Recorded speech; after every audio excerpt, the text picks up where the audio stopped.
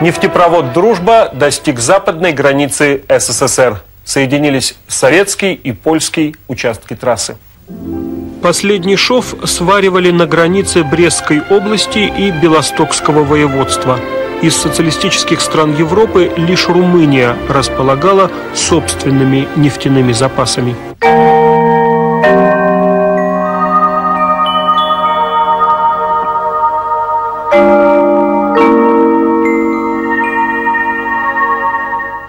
Дружба был, был и остался нарицательным отечественным нефтепроводом.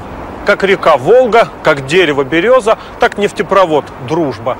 К тому же он иллюстрировал распространеннейшее представление, что все социалистические страны живут за счет наших энергоресурсов. Мол, и отдаем мы им эту нефть за просто так, по дружбе, и улетает она от нас в трубу. Советская империя была явлением очень необычным в мировой экономической истории.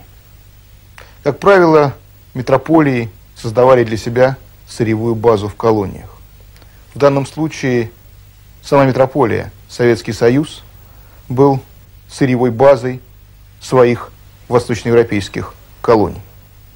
Они были тесно к нему привязаны, не могли существовать без ресурсной подпитки из Союза но за такую привязку приходилось недешево платить.